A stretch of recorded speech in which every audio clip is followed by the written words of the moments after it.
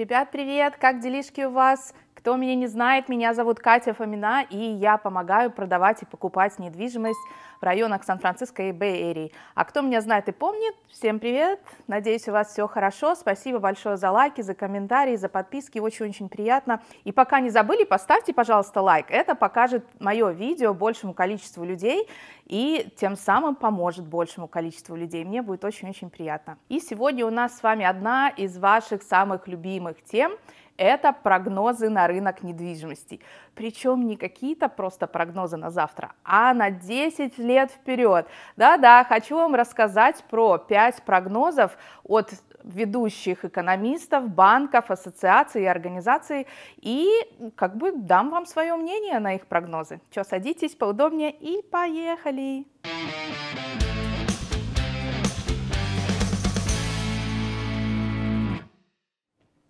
Итак, прогноз первый. Он идет от Национальной ассоциации арендаторов и Национального совета по жилищному многоквартирному строительству. Они говорят, что через 10 лет нам нужно будет примерно 4,3 миллиона новых квартир, чтобы удовлетворить спрос. Моя котечка на фоне решила, как всегда, побеситься. При этом доступность жилья будет оставаться все равно большой серьезной проблемой. И на рынок Калифорнии, Флориды и Техаса будет приходиться аж 40% спроса от э, всей общей суммы. Что я думаю по этому поводу? Я, в принципе, согласна, что доступность жилья будет большой проблемой, и оно будет все больше и больше проблемой с каждым годом.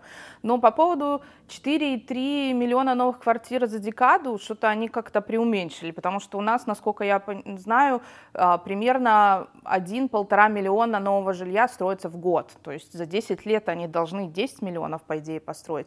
Да, после ковида уже, конечно, мы немножко отстаем, но тем не менее. Но в любом случае прирост населения у нас есть, особенно да, в Калифорнии, Флорида, Техас, люди будут переезжать туда все больше и больше, они, а жилья не будет строиться с такой скоростью, с какой у нас будет приток этого населения, мое мнение.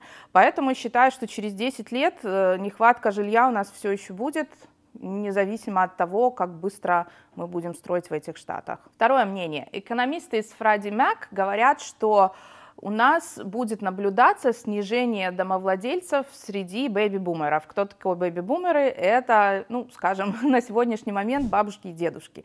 Два года назад их было 32 миллиона человек, и они прогнозируют, что через 10 лет их будет 23 миллиона человек.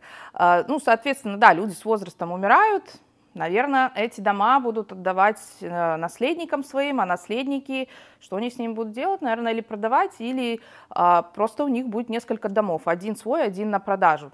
То есть, э, с одной стороны, они говорят, что да, больше домов будет на продажу, потому что бэби-бумеров будет становиться меньше. С, с другой стороны, если эти дома продаваться не будут, то, в принципе, опять мы переходим к вот этому вот э, фактору того, что спрос у нас будет большой, предложений на рынке будет очень мало. А Национальная ассоциация риэлторов говорит, что дефицит жилья у нас будет продолжаться до 28 года. Почему до 28 мне не очень понятно, почему именно они берут там сколько, 4 года, а что после этого будет.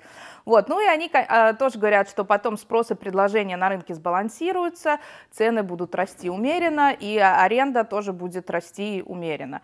А, в принципе, ну, такой очень средненький прогноз, да, без каких-либо там экстрем, экстремальных факторов. Посмотрим, что будет, но в принципе в Калифорнии у нас-то так, оно в принципе так и есть. А вот генеральный директор Home LLC говорит совершенно обратное. Он говорит, что спрос сейчас будет, а вот лет через 10 спрос будет намного меньше, соответственно цены начнут падать. Он это объясняет тем, что у нас э, рождаемость уменьшится ну, по крайней мере, только если иммигранты не восполнят это все. Вот, поэтому говорит, что так как будет меньше людей, поэтому будет меньше спроса, соответственно, и цены пойдут вниз. Посмотрим, что будет. Интересно, как вы думаете? Я не очень согласна с этими прогнозами, но интересно подумать, послушать, что скажете вы. Ну и Последний у нас осталась ассоциация ипотечных банкиров. Они говорят, что процентные ставки через лет 10 останутся примерно такими же, где-то 7-8%. А, таким, они это объясняют э, тем, что федералы таким образом будут пытаться контролировать инфляцию и не смогут опустить ставки ниже. И из-за этого спрос будет меньше, из-за этого цены будут расти, но очень-очень медленно. Вот, в общем-то, и 5 прогнозов. Опять же, экстрима я тут особого такого не вижу. Ну, и я не знаю, как вообще кто-то может загадывать на 10 лет вперед. Мы тут не знаем, что в, про... в прошлом, в следующем году будет, да, или к концу года.